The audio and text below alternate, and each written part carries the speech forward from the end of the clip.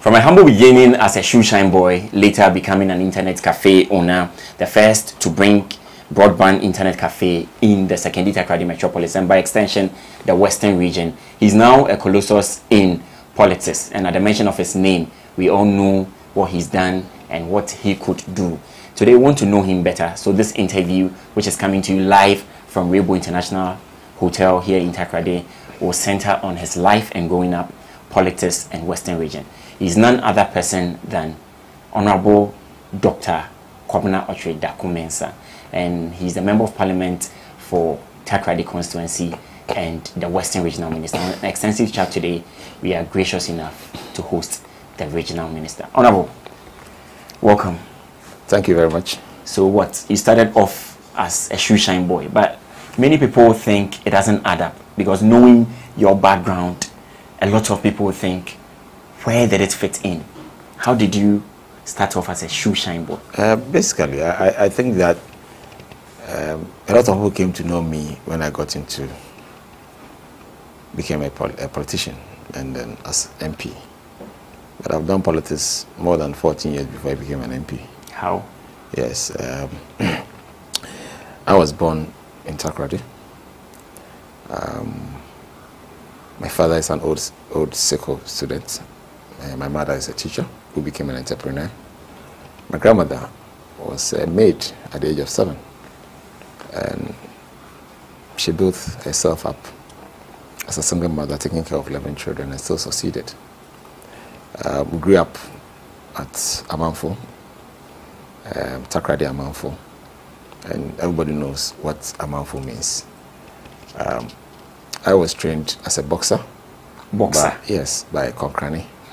Yes, so Go Mango um, Gym, that's where we used to train when we were kids, and we used to have a lot of boxing competition. So what, you wanted to grow up to become a boxer, a professional like Oh, it was part of the hobbies that uh, we all enjoyed and okay. uh, uh, work at it. When I was in primary school, I used to do a lot of shoe. Which primary school? In fact, I started at Bedu, uh, Beduado, okay. which used to be called Accra Road, which is now Beduado, opposite the central uh, police station. And then from there, we came to Services Primary. And whilst we are services prime, we're walking from Timaba, I mean Amanfo, all the way to services prime, which is school every day. Okay, and we did that. So doing that and then doing your shoe shine for me wasn't a big headache. So at what age were you the shoe shine? Uh, I think around eight, nine, and ten.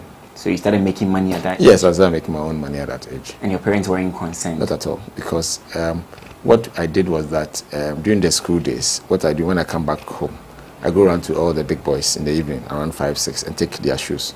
So in the morning when I finish my high chores, I quickly polish them and give it to them. So how then, much were you earning? Oh, I can't remember, but I think it was a lot of money because uh, uh, we also did that on Saturdays and Sundays from Takoradi. We passed through the market circle all the way to the railway station at the Harbour Gate. Um, I think I was making some money because we were able to use it to build what I call the, my, my football team called the City Boys. And some of the players that we bought from the other team. Yes, yeah, but we bought a lot of players and we sold a lot of players.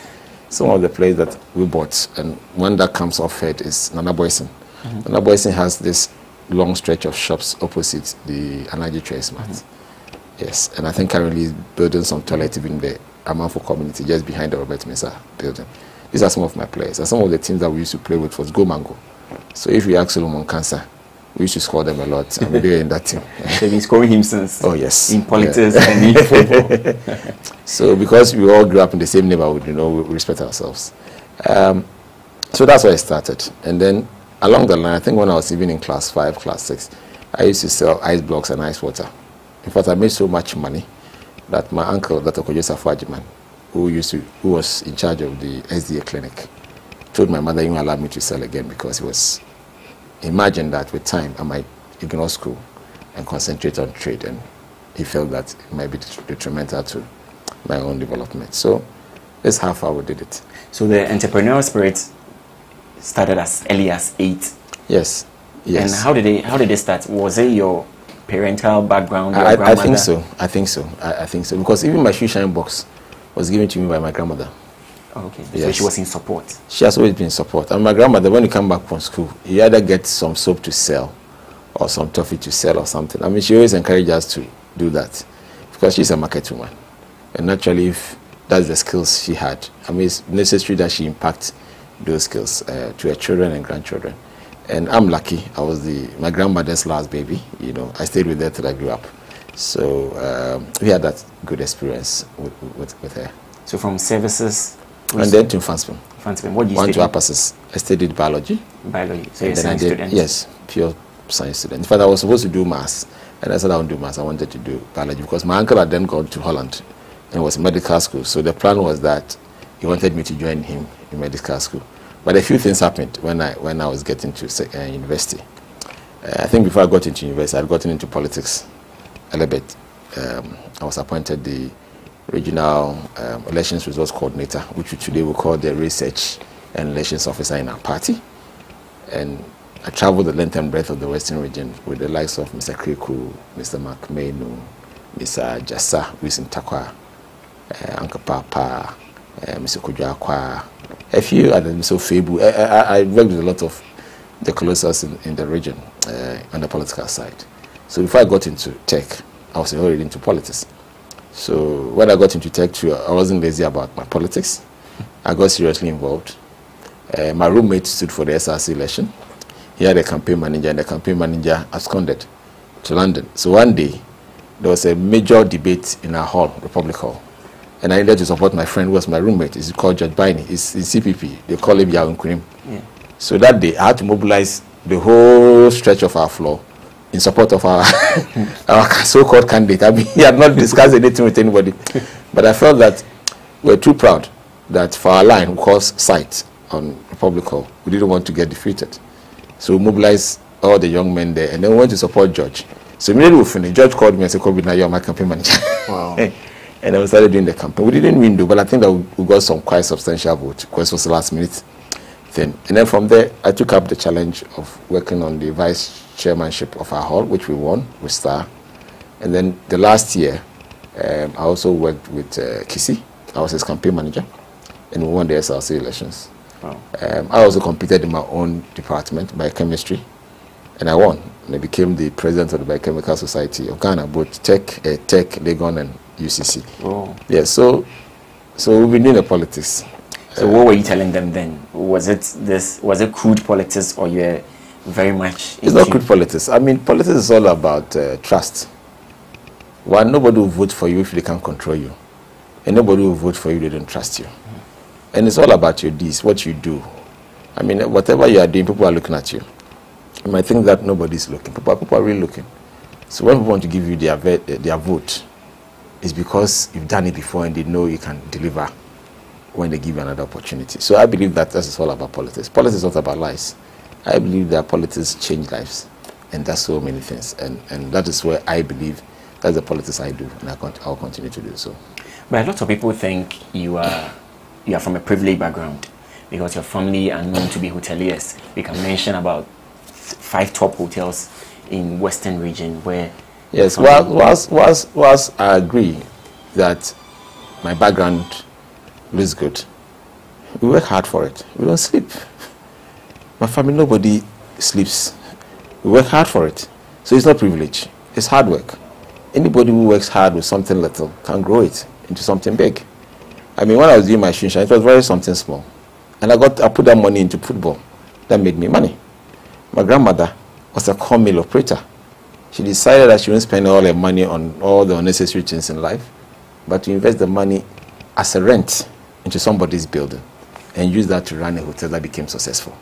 It's all hard work, so the first hotel is Animens not an immense Africana hotel. Africana. That's the old Golden Queens Hotel that has closed down Okay. next to the Guelph filling station. yeah. That's the um, Africana Hotel. Wow. So it's Af- out of Africana Hotel. Then we had Ahimfe nightclub. Okay. But when we were moving from Africana Hotel, the nightclub went earlier. So before the Africana Hotel got to that location, Ahimfe became so popular that they had to change the hotel name from Africana Hotel to Ahimfe Hotel. Oh, okay. So that's the genesis of this Wow. whole thing. Yes. So the Ahimfe itself was just a nightclub inside Africana Hotel. Oh, okay. And because it was lighter to move them earlier before the main hotel moves, because they had been evicted from their old location, um, that place became very popular. What's your fondest memory when you're growing up in Takoradi? Well, I think that I, I still enjoy it today. Still the, the, the anchors. The fancy dress. I've so you've been part since? Yes, I've been part. I've been part, I think, by the age of five. Um, we used to have Miss Aite. My younger, my elder brother was seven, my cousin was six, and I was five. And the three of us were being picked every day from the house by Uncle Aite to go for all these runs in the fancy dress. And our house has always welcomed fancy dress. I mean, my grandmother, Christmas is one of the busiest time in our house. I mean, we cook from morning to the evening because this fancy dress group will come. They come and take their rice, their sugar, their drinks, their money. They go, another group will come. So they get like 15 groups passing through the house. And we're at Amanfo, you know, yeah. we're, we're just um, three buildings from the um, Robert Mensah building. Mm -hmm. I mean, the old SDA, the new SDA clinic. We are just four buildings from there. Oh, okay. So that's the center of Amanfo. So whoever was passing through knew that as for our house. So is it where Spice FM, Old Spice FM old, old, no, not, not Old Spice FM. Three buildings down, next okay. to Ambassador Haircut. Oh, okay. That's our family house. Oh, okay. Yeah, that's our family. That's the family house that my grandfather built. So, at what point did you start the e-base internet cafe? Oh, I think e-base started around 2000, 2001.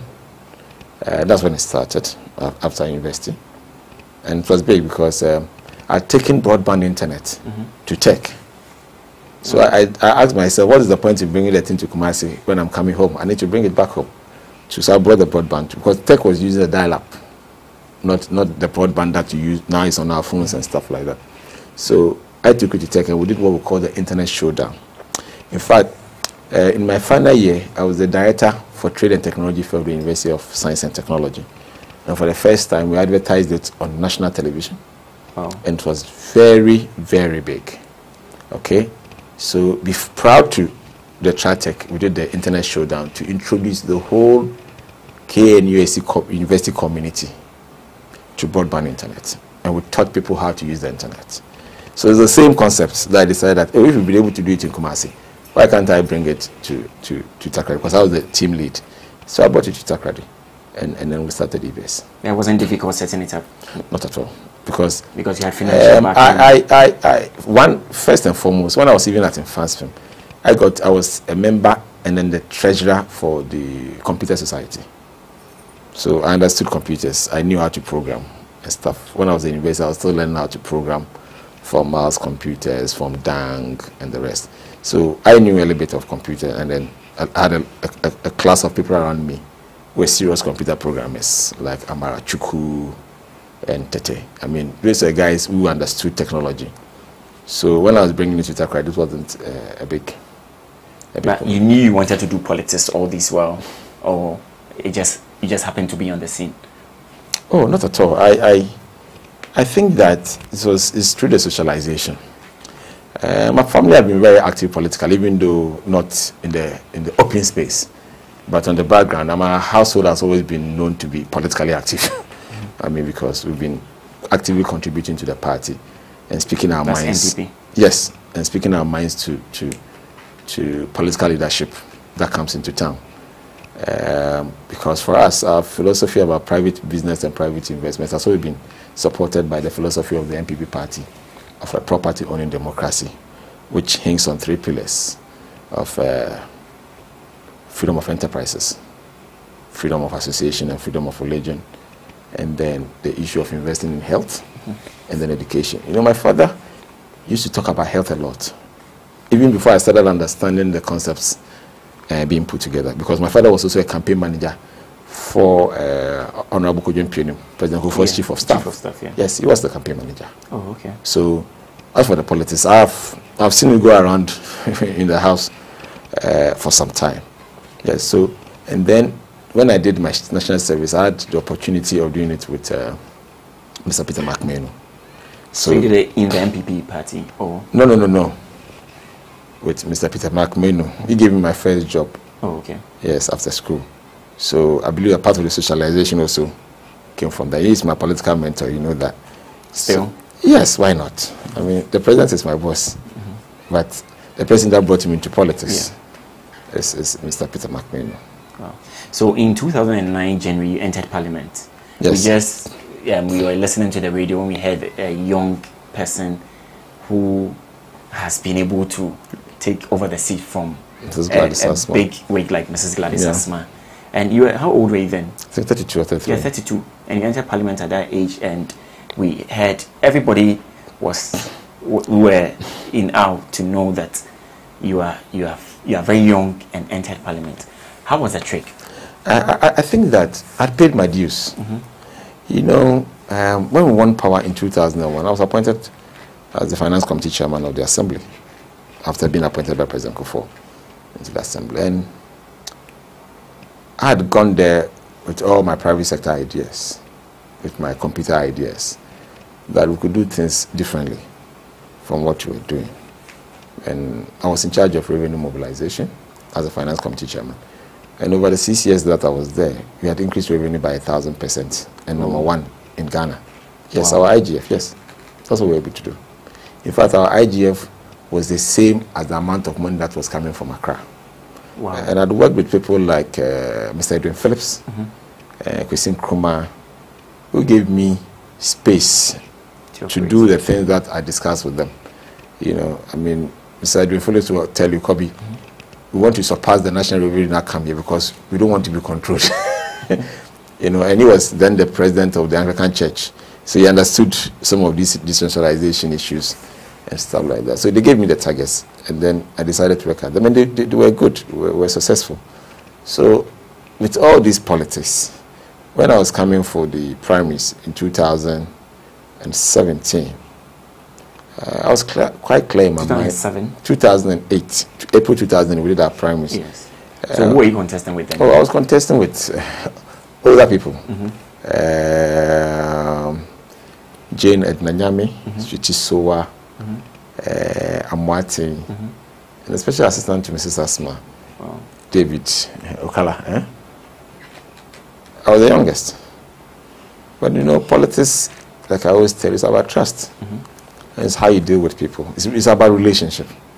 I mean, you can't just get up one day and just say that you have appeared. It doesn't happen. contest primaries then and elections as compared to now because now the conversation is a lot of money goes into um, campaigning from primaries and this has been in the traditional media for a while. I, I, I know that when journalists start asking these questions, the next question is how much did you spend? if you if, if but you but care you to see, share we but want you to see know. That's not the most important thing. I I think that we have to ask the reverse. Mm-hmm. How is that we have built a society that mm-hmm. people are always asking? yeah That's the question I think should be asked. And I think that is where we have to start our conversation from. So that we can all be clear. was it expensive to run elections then It has always been expensive to run elections every time, everywhere. It's just that when you talk about inflation, inflation will then add up the figures. But I believe that there's always they have they have always been expensive. Elections have always been expensive. so did you have financiers then when you're coming in 2008 Um, I had always had friends, and, and they have always come to my aid. And most of them I don't even ask. okay I mean, I'm, I, I, I, maybe I'm lucky because uh, I believe that politics is for service. And when you serve people well, when it gets to your time, they'll come to your aid. I mean, they'll just naturally come. You don't have to bother them. They'll come and say, oh, no, I want to buy your forms. I want to do this. And, it- and it, it, makes, it makes it very interesting. Yes, if you are genuine with people, people will also be genuine with you when it gets to your hard times. so you're very sure you are going to contest for the Takoradi constituency No. no other constituency No, in fact, originally, I'd always thought Mr. Asmah was going to run again. So it was not part of my, my, my plans. So when Mr. Asmah announced to his executives in hmm. 2007 that he was not going to Again. I mean, I was like, okay. But even that one, I was not even pushing. So I quite remember in 2004, um, I organized the regional rally at PWD. yes, I was, I was the chairman. Wow. Yes, and I worked with people like Mr. Febu, Kofi Kwanzaa, a few other people.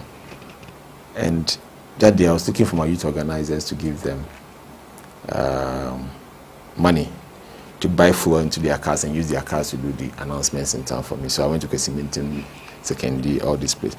So when I got to Takoradi, I think at upon Chinkakra, yeah then I met um, Mr. Ibrahim Sana. So when I met him and I gave him his money that he should do the rounds for me, I was leaving. Then he called me back and he said, Ah, Kobby, why don't you when Mrs. Asmah is going, we want you to come and contest the Takoradi seat. I think around 2005, I was going to school. I was doing my master's, so I was going to school. So some boys also from the constituency also came and said, oh, Honorable, want you to. I let them was understand my so they knew me and because I was representing Takoradi. And I did a lot of training for them throughout the region. So, so they also came to me and said, oh, why don't you come and contest? So I told them that, oh, I'm going to school. They should let me finish. they should finish and let me come back. And when I come, uh, we'll look at But even that, I still put a caveat that if Mr. Asmah decide to have a U-turn and he was not run after 2007 and decide to run, we are still not going to run. Because you see, when we are at the regional level, our concept has always been that keep what you have mm -hmm. and add on to it. Mm -hmm. So we didn't, we are not the type of people that were going after certain MPs and creating difficulties for them. We, we, we believe that you keep what you have and look for farm constituencies. So that was that has always been my concept. So when Mr. Said then decided not to run, then it had opened the gate for everybody to put in his best foot forward. So basically, that's what I did. Wow. So since 2009, you entered Parliament, and in Parliament, you've made a mark. Um, you've served on the subsidiary legislation, education, and business committees. How, what's the magic? What do you do? Oh, I think that uh, one of the beautiful committees I enjoy sitting on is the subsidiary legislation because it gives you the opportunity to interact with every ministry in this country. Because every ministry comes there to do their sub legislation. I mean, after you've passed an act of parliament mm -hmm. and they want to actually break down and operationalize the act, that's the law you do. So basically, you're looking at virtually every law that mm -hmm. is in all the ministries okay. and how they are implemented. So it's one of the committees that I enjoy sitting on.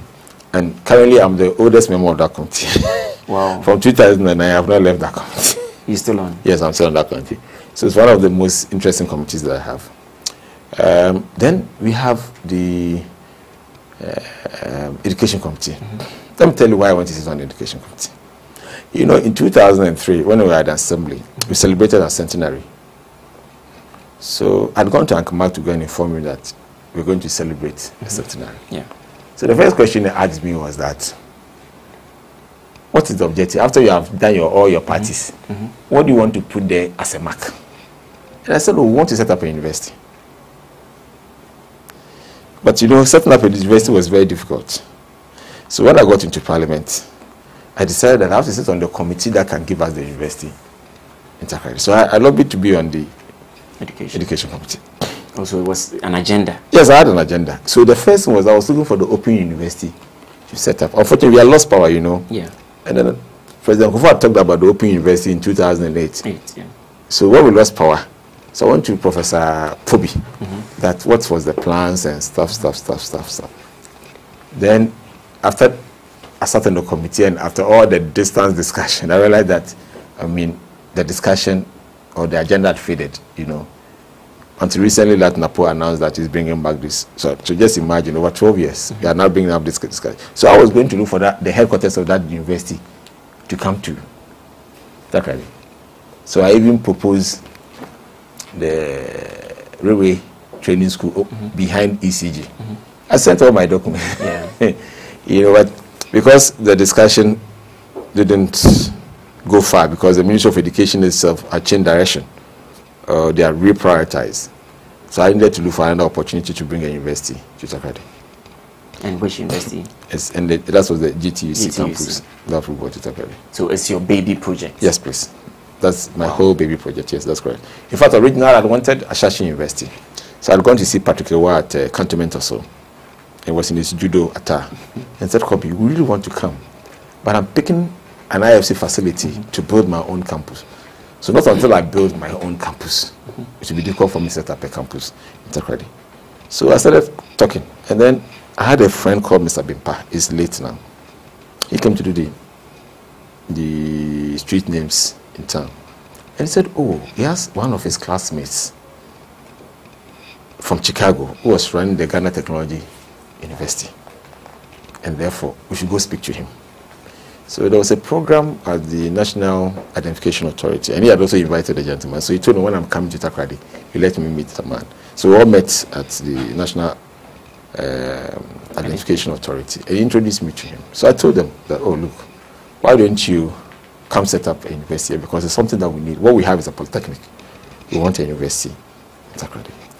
And when I spoke to the president, he said he would consider it.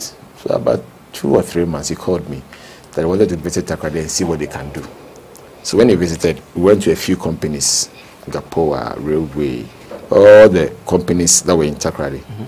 So we agreed that we're going to start with executive programs, maybe certificate programs, small human resource, small finance programs, small ICT stuff. Mm -hmm. So we needed a venue.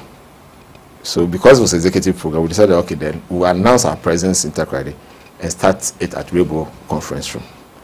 Just about that, they finished just up. Yeah, just here. I mean, at that time, they had the conference here mm -hmm. and then the big one. So just about the time that we were preparing to start, then Vodafone gave an offer that they have left their building at the PNT, mm -hmm. so we should go have a look if we are comfortable. And when we went to look, we were game, and we decided to start uh, breaking them down. In fact, even before Accra instructed us, I had called Mr. Finn to start breaking, breaking up the places so that we can we can work on them. So that's what we did. Uh, I believe that that's what my, my mother and my grandmother taught us to do. These are the things they taught us. My grandmother works very hard. Even if she was alive, I believe that by the time we would have gotten her, we'd have passed through here to check whether everything was in order. Mm -hmm. That's how we work in our house. But looking at the data of elections in Takoradi constituency, it seems you are you are you don't have any competition. I agree, but but um, like somebody said, if they give you a job to sweep, mm -hmm. you sweep so well that everybody know they are the best you don't wait for people before you take a decision. Um, I've always believed that you don't wait for competition before you start working. Because if you wait for the competition, you'll be too late. You should always try to be ahead of your own game. Because if you wait, other people will come and surpass you so quickly. So uh, that's the way I work. But I don't wait for people. Others also think you are too relaxed because of that. Because I've there's this notion that even in the Takoradi constituency, even if you um, decorate a goat they go to win on the ticket of NPP? I, Takoradi people goat to be voting for No, it's, it's just um, an axiom. It's just it's, a it's not. Meaning NPP is too comfortable there. It's, we, are, we, we have never, we have not been relaxed in this constituency. If you look at the kind of work and the projects we are doing, I mean, you're working as if you're in opposition. If, if, if, we are relaxed, we wouldn't mind the, the, the needs of the communities.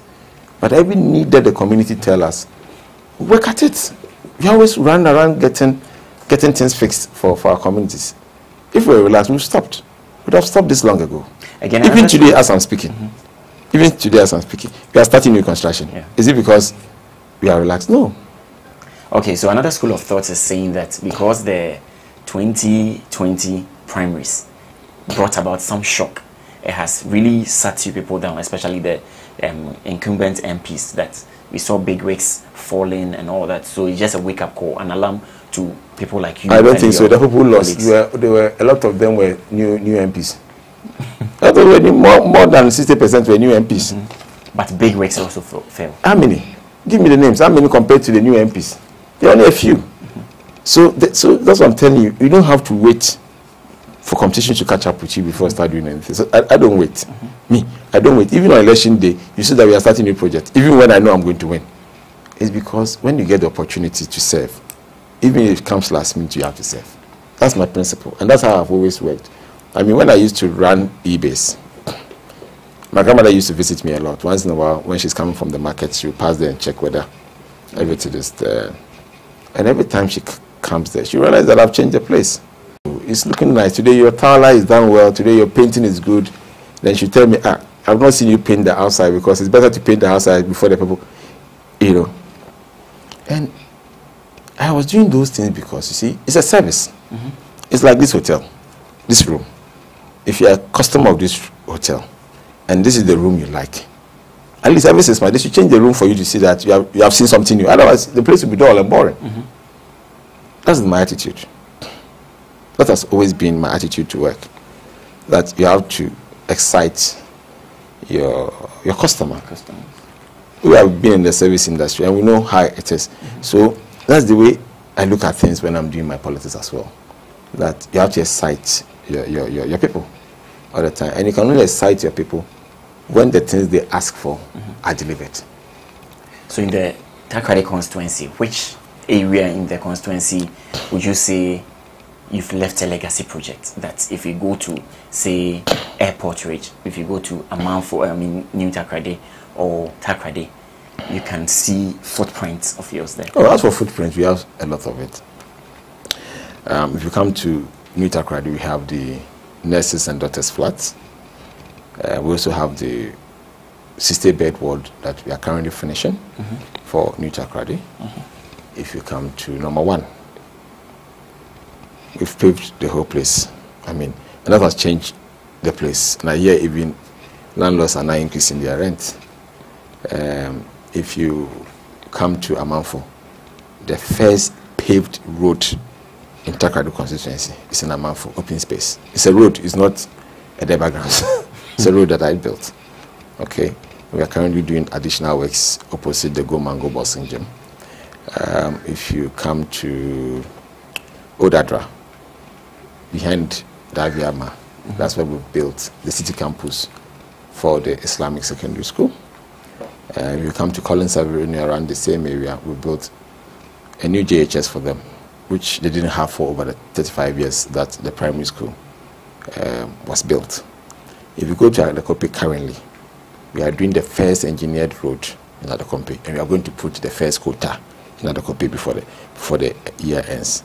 If you take um, um, where, where, again? There are too many. There are too many. I, I just want to see where. Pardon. Uh, if you go to Sawmill, mm -hmm. I mean the first uh, two-story built by an MP in the Western region was built by myself. And we are currently doing the AstroTurf, and we're also doing another AstroTurf also at uh, number one. If you come to New Takoradi again, we are building the biggest youth center in the western region. That will have. Yeah, ultra-modern. That will have bank, swimming pool. New uh, Takoradi. Oh yes. So when are we looking forward to seeing that? Oh, I, I believe that we'll finish with the first floor by the end of the year, and then me I'll finish and go up and get it used, and then we'll go up, and then we'll get it used and go up. That's how we're doing. That's that's my plan for for for, for it. And in 2017, you appointed the Deputy Minister of Aviation. Yes, please. Before coming home as the Western Regional Minister, what at aviation interested well, I, I, think that aviation, one of the things that interested me was putting aviation and tourism together. Okay. So we did the charter, charter policy um, to encourage more charter service into, because, you know, our tarmac was only about 45% usage. So we needed to put in some new measures and we're also able to start the Kumasi Airport expansion and terminal, um, the Tamale Airport expansion and terminal, uh, and then we also selected Takoradi to be given a new proper befitted international airport. At KGB, KGB right? yes. So what's happening to it? Um, we've done a lot of work on it. Uh, ministry is now taking a decision whether to do PPP mm -hmm. or to do debt to service the project. So that's that's the crossroads we are we are now. We've gotten a lot of proposals on both PPP and then debt. So these are the proposals we are. So it will come off. Yes, it's come off. It's on. It's not that it will come off. The ministry is just taking a decision to inform cabinet that this is the route we want to take to do it. So if you just joined this is extensive chat and we are still talking to Honorable Kwabena Okyere Mensah and he is the Western Regional Minister and Member of Parliament for Takoradi constituency. We've asked him about his life and growing up. We've done politics. We want to come home to Western region where he is the regional minister. So in 2019, when the um, Western region was divided, he was brought home as the Western regional minister. And now he's, he's still the Western regional minister, substantive Western regional minister. When you moved from aviation to Western region, you, were you happy? Was it something you considered or reconsidered no, I didn't. Uh, it's not something I thought that it was an opportunity I, be I believe that was worth giving it a shot. Um, and therefore, when the president asked me, I said, yes, I'll come and do the work. You said you come and do the work. Yeah. And so I've had the opportunity to be at the office several times. And it's more than a hospital or a police station. People queue up all the time. And this comes to mind about the dependency and the, why we we've built a system of people asking always. Why is that so? Um, me, I believe that this morning I wanted you to come to the house before we met here. Mm-hmm. the place is full. If you go to the office, the place is full. That's the country. But so what? I, why, I, I, I believe that uh, it's, our system, it's our communal way of living as a people. Mm-hmm. You know, in this country, the abusua panyins mm-hmm. solves all these problems. Mm-hmm. So when you become a leader in your community as an MP or a minister, you, still, you become the bigger abusua panyin. So everybody will bring his normal problem that is small abusua panyin in his family house can solve to the top. That's why I see it. Mm-hmm. And therefore I don't get worried. Yes. So I don't get worried about it. Because I've done this for over eight years before I became a minister. And therefore it's normal. I remember people were asking me why are you going back home to mm-hmm. become a regent? Why don't you stay in Accra? And I said, I've done this for eight years. What more haven't I seen? So if it's about serving my people, I'll come back home.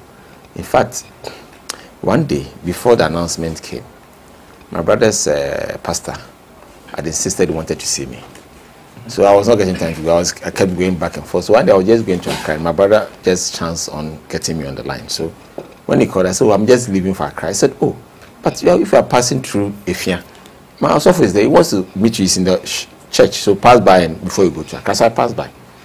So when I got there, he told me, Kobby, before March ending, the president will announce that they'll give you a new post. And this post they are going to give you, to give you the opportunity to help your people. In fact, immediately I became elated. So if I can get posts I can use to help my people, then what are we in politics for? So when president called me and announced the thing, me, I was game. So I decided to come home and do the work. And I believe that so far it's been very worthwhile. Worthwhile because you see, sometimes politics people take it for granted. There are some people who pass very bad and useless comments about mm-hmm. politics and politicians. But the same people are the people who look up to government when there's a crisis maybe they say at year am I referee maybe when they are not in need they think that anybody who is in need is crazy it's like sometimes people sizing people up for going to church in the morning or in the afternoon everybody and his problem yeah. yeah. so when you see somebody going to church in the morning you know why he's going it's not sunday he's going to for, you know everybody has his reason for doing something that we do so for me i see it as the larger opinion concept and therefore i don't fret so you enjoy uh, it. You don't have family issues where the wife will be concerned, where people, your family members come and oh, they know every I'm in, day. They know I'm in politics. So if you, you, get concerned about it, then you are behaving as if you don't know I'm in politics. But which of your children wants to enter politics? Any of them? Oh, Akwesi want to do law. Um, they all enjoyed it. I mean, when we go for rallies, they join me. when we go for Keep Fit, they join, they join us. How many of them? There are three of them and they're all girls, and they enjoy. And, they're all girls. and they all enjoy enjoy doing it. Wow. Yeah. So and you don't for have us, a problem if any no. of them wants to enter politics, knowing that I don't. I don't have a problem at all. Mm-hmm. I mean, everybody is, is built for a purpose. So if they are built for that purpose and they want to do it. Uh, yeah. So I asked for the family and the number of children because I would want to know would how would how old are they anyway? Akwesi is 21. Uh-huh. The other one is eight, 17. Mm-hmm. Uh, 18 and then the last one is 13 okay so would you want them to live in Takoradi, not travel anywhere? They are up for marriage and their husbands are confused as to where to stay. Uh, would you want them to live in western region? I mean the husbands would take those decisions with them. No so they are it's confused not, it's not, it's let's, not, it's not up to me to be let's consult daddy. They are confused. We want to consult if i say something right now somebody used to say your father said he wants to give you i'll marry you. I don't no, want that um, on that on that note i want to know if the western region we are building together with you and everybody's quota would be a place worth living in the next Definitely. 15, 20. You see, that, that, that is my plan. Mm-hmm. You know, I'm not an Accra type of person. Yes. I'm somebody that even when I'm in Parliament, it gets to Friday, I'm in a hurry to come back home. I do it all the time. In fact, when I sleep in Accra and I get up, I get worried. It's like, hey, who came to do for me in the house that I'm not there? Mm-hmm. What are the issues that, you know? I've always believed in the Western Region project. And I believe that ever since I became an MP, I've been consistent. I mean, the motion for the 10%, that was even promised by the NDC. Yes, I moved it in Parliament. Okay. And the NDC people like Kofi Buah, they ran away from the motion. The motion to bring the GNPC headquarters to Western Region, I moved it in Parliament. The motion to move the Petroleum Commission headquarters to Western Region, I moved it in Parliament. Because I've always believed in the Western Region agenda. Honorable, we have operational headquarters, not headquarters. What's the Yes. difference? The, the, the, the difference is that, with the exception of the corporate staff, all other things will be done here. So the corporate will be in Accra, Yes. and the technical, The technical parts part will be. be here. Because you see, our concept of this project was to make the Western region the back office for the oil and gas industry in the whole of West Africa. Mm-hmm. That is why we are pitching to become an alternative financial services hub for investment in Western region. And that is why when God, President gave us the opportunity to choose prior, three priority roles, I chose the roles that will make sure that the farthest point from this region, regional capital, should be two and a half hours from Samreboi mm-hmm. to Takoradi. That's our plan. Mm-hmm. You understand? You have to let things fit into the plan that you have so that you can service your people better. Because if your people are far away from you, you use the other centers of metropolises. And therefore, it's very important that we do a project that brings Western region closer all the time so we can interact more as a people. So with the PTC interchange, Yes. we've not seen any work there. You The know- vice president came to Oh, Takoradi. don't worry, don't worry. You know, you know, the engineers they have a f- camera that they shoot photos, but they don't print. Mm-hmm. Have you seen that camera before? Yes, yellow. Okay, they started doing that work. right now. yes, so they're working. Yes, we're also expecting the billboard to come down this week, so they can start some work on the pile and, and, and other stuff. So we are working. They, they, they are not gone to sleep on the matter. In fact, we are hoping that next week, 27th going, we should be able to also cut the sword for the double road or dual carriage Yeah. from Takoradi to Sekondi. We'll cut the sword from Sekondi and bring it to Takoradi. Um, this is the oil region, Yeah. and the oil capital is Sekondi Takoradi. But should I bring a foreigner here? Will I will I be and ask the person? Does this reflect an oil city or an oil region? Um, I, don't think the person would It agree. took some government to do nothing. So free education came for people to actually enjoy oil money. Western region, we have increased our enrollment from 13,000 to 27,000 simply because we have introduced, a good government has introduced free secondary education. It's a good government. Yes, we are using oil money to pay for free education. In Western region, we have all the gold and timber and cocoa. We were not taking our children to school. 13,000 and the number has increased to 27,000. It shows that we have always had a desire to go to school. But because we don't own the productive assets, you see, you're a journalist. How many of your guys have decided to put their hard earned money to buy cameras and have form a crew? Because some people they don't believe in owning the productive asset. Yes, but honorable, to be frank, is very expensive too. And I don't think the support base here really support that as well because these cameras, this crew we are working with, this camera there is not less than two thousand cedis. So You need about two of them. See, and that's why every solid you get, you keep, you don't chop. so that when you get the 2,000, you buy a camera. and Nobody will buy for you. See, Yes. this concept, like you have said, mm-hmm. People always asking, asking, Yes, asking. yes. It's not sustainable. So when you earn one cedi, you put 50% down before you chop the other 50. You don't chop 50 when you are satisfied, then you keep 50. You keep the 50 before you chop. So you, you don't eat beyond your cloth, or you don't uh, cut your coat according to your cloth, not according to your, your size. The fact that you're a big boy doesn't mean that every day you have to sit, sit in a big car and, and spend petrol. It means that once in a while you have to intentionally drive motorcycle or bicycle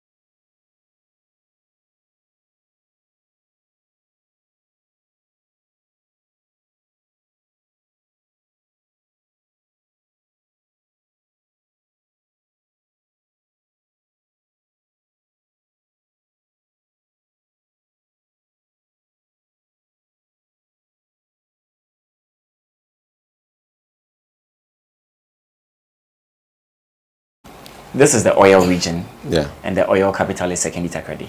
But should I bring a foreigner here? Will I will I be and ask the person? Does this reflect an oil city or an oil region? Um, I- I don't think the person would It agree. took some government to do nothing. So free education came for people to actually enjoy oil money. Western region, we have increased our enrollment from 13,000 to 27,000 simply because we have introduced, a good government has introduced free secondary education. It's a good How? government. Yes, we are using oil money to pay money. for free education. In Western region, we have all the gold and timber and cocoa. We were not taking our children to school. 13,000. Now the number has increased to 27,000. It shows that we have always had a desire to go to school. But because we don't own the productive assets, you see, you're a journalist. How many of your guys have decided to put their hard earned money to buy cameras and have form a crew? Because some people they don't believe in owning the productive assets. Yes, but honorable, to be frank, it's very expensive too. And I don't think the support base here really support that as well because these cameras, this crew we are working with, this camera, there is not less than 2,000 cedis. So you need about two of them. See, and that's why every solid you get, you keep, you don't chop. so that when you get the 2,000, you buy a camera. and Nobody will buy for you. See, Yes. this concept, like you have said, mm-hmm. People always asking, asking, Yes, asking. yes. It's not sustainable. So when you earn one cedi, you put 50% down before you chop the other 50. You don't chop 50 when you are satisfied, then you keep 50. You keep the 50 before you chop. So you, you don't eat beyond your cloth, mm-hmm. or you don't uh, cut your coat according to your mm-hmm. cloth, not according to your, your size. Mm-hmm. The fact that you're a big boy doesn't mean that every day you have to sit, sit in a big car and, and spend petrol. It means that once in a while you have to intentionally drive motorcycle or bicycle.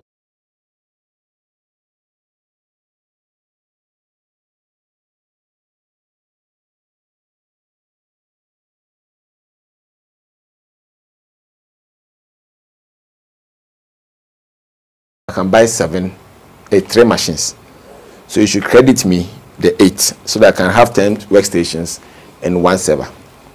And the guy said, okay, I agree with you. Young man, the way you are brave, I agree with you. Mm-hmm. But on condition that you pay dollars or fix all the amount in dollars. So if there's inflation, whatever, or cedi exchange rate depreciation, it affects you, not me.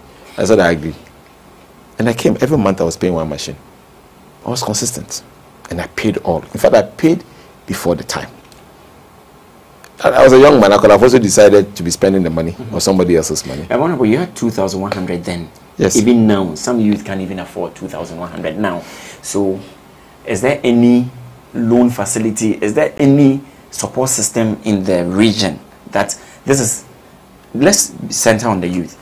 This is the region where oil has been discovered, Okay, let me show you something. I mean, let, let- let me oh, give you some of the key. Mm-hmm. When I was at Tech, I was selling plane tickets for specialty travels in Accra. And I was keeping my commission. I was keeping my commission. You get me? I was keeping my commission. Some other people would have chopped all the commission whilst they were on campus. But irrespective of that, I've also set up a small fund for the youth. So what we do is that when you're interested to do a project, uh, we'll support you to get you some loan to do the work. When you to the make, tune of how much? oh, it depends. Uh, sometimes we struggle between six thousand to thousand, and then we also do higher ones. But the higher ones, that one we have to be in charge of. We have to work with you on the project so that you don't go So and how, how would one assess this Oh, facility? um, when you, you notify me, we, we usually give it to iCode to do the training program before they were advise that this person was serious in class, this person's pro, uh, project is useful, it can be supported. This one is not good, don't, don't work on it. Then we communicate with them. Yes, some of them they come with some big, big figures, which is just not sustainable. They themselves, when you interview them, you realize that they, they don't add up. So when they don't add up, we advise them that this doesn't add up. Go and look for a new project and come and, and come do it. So the life of the youth in the region, you have all your children are in the youth bracket. Are you impressed with the general life of the youth? Because let's be, let's narrow it down, even to the entertainment sector. The artists leave to Accra, they blew. A lot of the youth have now left for other um, jobs in Accra, and they are all working in places in Accra, and they tell you, and you compare your life within that range where they've left, say, five years. You being here in the Western region, they going. So the life of the youth, are, are you impressed about the general life of the youth? Um, I think that I had the opportunity of speaking to Kofi Kinaata some time ago. And I told him that he's making a lot of money. He should reinvest it back here and make more money. He shouldn't spend the money. He shouldn't oversize his crew and stuff like that. I believe that there are a lot of opportunities in Takoradi and the Western region. Plus, you are complaining that somebody is broke. Mm -hmm. Somebody is also becoming rich. Mm -hmm. So me, I don't complain. I believe that no matter where you are, you should brighten it up. Because my grandmother always says it's chin chin so so. Mm -hmm. You can never have it so so all the time. Once in a while, you might have the bumps. And therefore, inconsistency is constant, not the other way around. And therefore, I believe that the youth should come to one conclusion that nobody can live their lives for them. Mm -hmm. They have to live it. And no matter where they are, no matter where they are. Even when there's not enough revenue coming where you oh. are. That's why you have to increase your streams of revenue. I mean, people in Ghana now know that we give a lot of scholarships. People will be in the university and behave as if they don't know that scholarship opportunities have come. So they don't write when the date pass, then their mothers will be walking around all over the place looking for debt to pay for their school. We have to brighten the corner where we are. In this age of WhatsApp, mm -hmm. Facebook, and all that, you can't be giving those lame excuses maybe our parents gave. I mean, today, let me tell you my candid opinion. A girl cannot get pregnant, maybe at the university level, and say that was a mistake. If you do that, then you are telling, you are telling us that they are not teaching you anything in the university. Mm. It's not fair even to our society. It's not fair. So I believe that um, our, our young ones have a lot of opportunities and big future in our metropolis and then the western region. Because they should seize those opportunities. So. And they should seize those opportunities. Mm -hmm. They should seize those opportunities. They'll be successful. Eh? It's, you'll be successful. I don't see why we should make it look as if it's not possible. It's possible. People have made life here. Look at the yes. big, big buildings mm -hmm. here. They are built by young people. They are not built by old men. Mm -hmm. In their time. We can also do it in our time. Look, when I was in STM, I was talking about this centenary thing. And you know the team we chose? it's a big debate. And we settled on one team. Turning the fortunes round in our time. That has been my guiding principle. So when you see that I'm doing all this market circle, this, this, this, this. Yeah, so the market circle project. Yes, it's coming on live. I mean, we have started building the relocation site. How, how, much was the whole project cost? Um, currently, it's uh, 52 million euros. That's the it's whole a loan facility. Yes, a loan facility. From, uh, from contractor, they, they, are picking it from uh, part of the money from Spain. Yeah, that's what they are doing. So how are you going to offload that loan? Are you going to, is it? There's a special purpose vehicle that is being built mm -hmm. for the Assembly and the Ministry of Finance. And it's one of your legacy projects? Yes, please. Oh, interesting. And one person you spoke about a lot was your grandmother. Yeah, I do. I and do she, all the time. She passed away some few months ago. Six months ago. Six months January. but you were just buried about few months ago. You have, you've authored this book, Lessons from My Grandmother about opinion Abena Ejewa. Yes, please. And 99.9 lessons. Lessons. Why were they not 10? Um, she was um, 99 years. Okay. And the last part, the last chapter, um, is about socialization. So that was the point nine.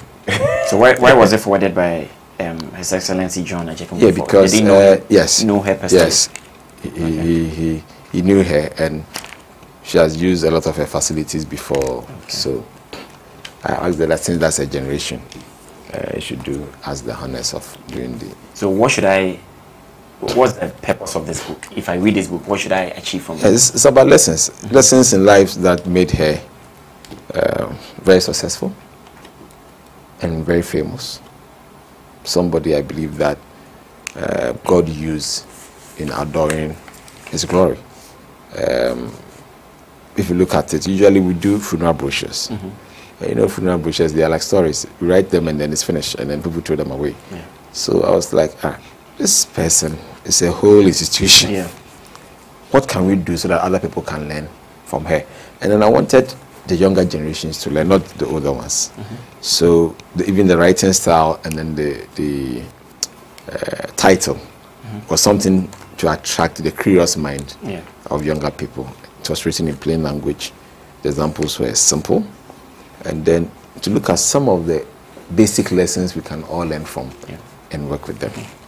I mean, so we have 9.9 lessons, and the first one talks about the power of small things. And this is one thing that a lot of our young people don't appreciate.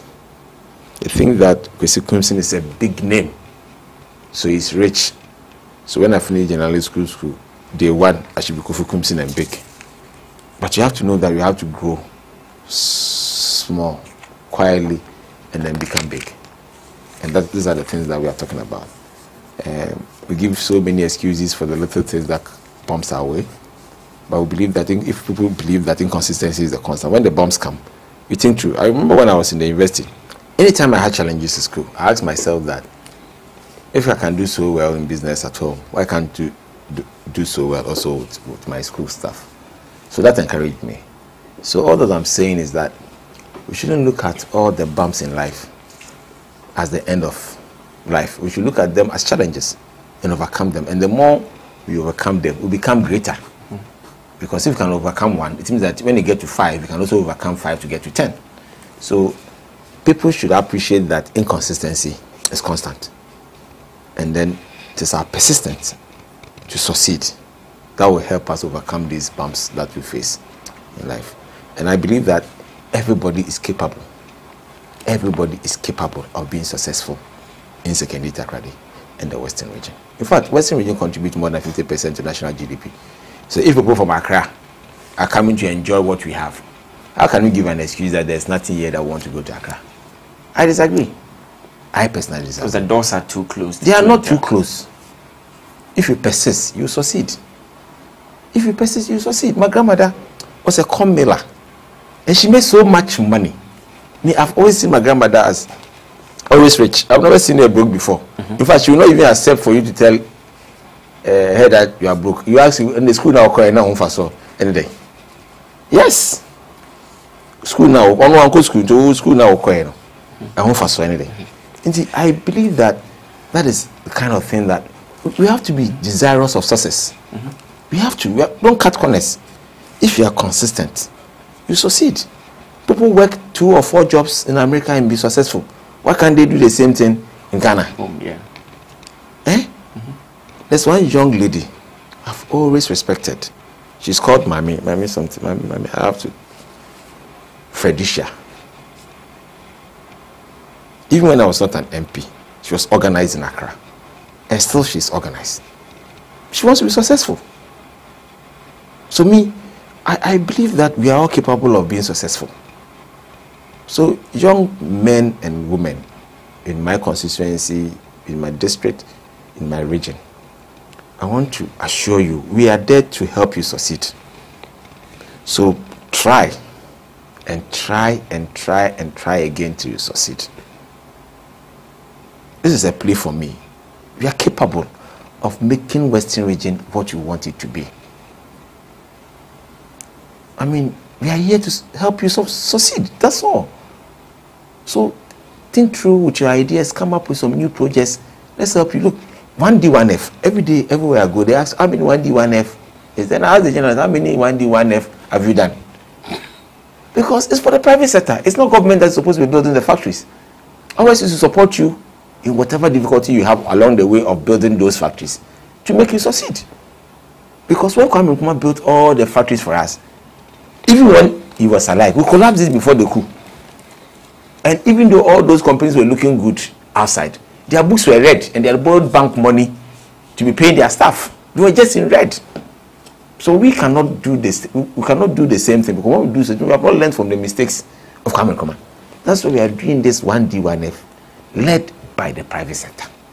And a party that is pro business, we will support you to succeed. That's all that we are saying. That's all that we are saying. So think big. Think, do all your thinking big, and do your proposal. One, two page, three page, uh, and then let's support you to, to get them on stream. So if we have a proposal, we can bring it to the regional Yes. minister's office. Yes. And so it's on record, and we'll Yes. bringing a lot of these proposals Yes. to. Make sure your proposals are clean and neat and simple. Yeah. Achievable. simple, yeah, achievable. And don't be afraid to join forces with your friends Yeah. and people who can put in the money. Nobody, look, 100, 0% of 100 mm-hmm. is zero. Zero. Yeah. 5% of 2 is a lot of money. Mm-hmm. So don't be interested in owning everything. Mm-hmm. Be interested in owning the small part you can control. Let your friends and your family and other people put in the extra money and make sure the project comes on stream. Do your monitoring uh, supervision very well, and your project sh- should be fine. That's what we are talking about. Honorable, we wish we could talk to you the whole day. Um, you have a lot to offer, you have a lot to share, a lot of insights, and I'm sure we'll come to you again after the elections. So, 2020, after 7 December, I'm sure uh, because MPs know their faith right on that day. And if and only if you win, are you, are you very confident of winning? I'll win. By which margin? Any percentage? Oh, last time we got 70. We want to increase it more than 70%. 70%. percent So, this year, We'll increase it. to I've told you, we increase it more than the 70. you're very confident. Very, very confident. Because when you serve your people well, mm-hmm. And they you always they will always give you another good term. Mm-hmm. So what what's the future of? Are you, are you a career politician? Where what does that mean? You want to be in politics till you retire, or you just leave at a point? I want to be in politics so I've served my purpose. Okay. And what's your purpose? To serve my people and make sure that And you've not served them enough. Oh, I think After that 2009. um, I've, I've, I've, I've, I've, I've said this that this business of parliamentary, the more you are in the business, the more you get the network to improve the lives of your people. I believe that if I didn't get this term, I believe that all these seven major projects we brought into town wouldn't have come. I believe so. So when I get the opportunity more, we have to use that to fix more of the problems that um, we have in the system. so the next administration, you still want to be Western Regional Minister. You're looking at another ministry. Uh, that one is not for television. All right, honorable. Um, others think you have ambitions beyond MP. There are people who have told been you- calling you. I've told you, you that story you wrote it. no, they think you- you'll be a fine material. You'll be a fine running mate material. Um, I don't think that this is for television. All right. Thank you so much for your time. And um, 7 December is when people, will- um, your electorate, the Takoradi constituency will vote for you. You have the camera, speak to them. Um, thank you very much, Takoradi people. In 2008, I came to you to vote for me. You did. And I delivered. In 2012, I came to you again to vote for me. You did. And I delivered. In 2012, I came to you, you voted for me, and we have delivered. In fact, all the problems that had come up in those periods, like the new Takoradi Road has been done, like the university you wanted in Takoradi so badly has been done. The schools you wanted us to build has been done. And the humility wanted me to serve you, we have continued to do it up to today. Now we have another chance to vote for us again come December 7th. My plea with you is that continue to support us to win this election and massively so that the huge mandate you give us will be put to a good purpose. Our agenda now is to make sure that Sekondi Takoradi becomes the financial services center of the region and as an alternative to Accra by building on the NPP manifesto of making Sekondi Takrady the back office for the oil and gas industry in the Western region. We believe that when we are able to bring in more finance, we'll be able to expand the factories, build new ones, build new businesses, so that opportunities for job would also increase. Mm-hmm. And I believe that with you, when you work hard at the opportunities that come your way, more younger people will also get opportunities to also do more for our constituency. Takoradi constituency has improved. And I know that in the next two years, when all these major projects, the Takoradi Market Circle, the dual carriage from Takoradi to Sekondi, the dual carriage from Takoradi to Tarkwa, the interchange that we want to build the first ever in the Western region, the tuna processing plant we want to do in New Takoradi. When they all come together with the biggest youth center in New Takoradi, when all these come together, it will give us more opportunities for jobs, more opportunities for businesses and profits that we can reinvest to enlarge our coast in and the second Takoradi metropolitan area.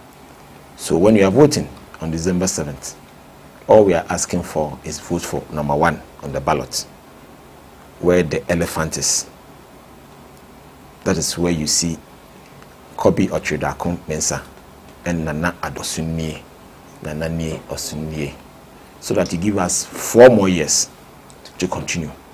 And then when we come back, you give us another four more years, another four more years as we deliver on our promises. And you know, we have delivered on to create an employment opportunity for you. It's the same government that will give you a hands up in terms of funding to start up your businesses and to expand your businesses. And therefore, want you to join hands with us this time round again and put the NPP back into power to do more for you and me. Thank you very much, and may God bless us all. So that was Honorable Kwabena Dakum Mensah, the Member of Parliament for Takoradi and the Western Regional Minister. He is a serial entrepreneur and a politician and now an author. And where do we get copies of these? Oh, on the net, I think that you've set up uh, right. an online sales. All right, so we'll give you links to where you could purchase the book 9.9 Lessons from My Grandmother, Oba Penyin Abena Ejewa, The Wisdom of Her Light Still Unfolds. And the author is Kwabena Okyere Darko It's been wonderful having this interview, and like I said, we'll need to continue this interview some other time, probably after the elections. And special thank you to Chairman Basti for making sure this came on. And we are so grateful for putting this together. And he's the CEO of Just Must Travel and Tours as well. And to my entire crew led by Ampabin and Wooly and everybody, we say thank you.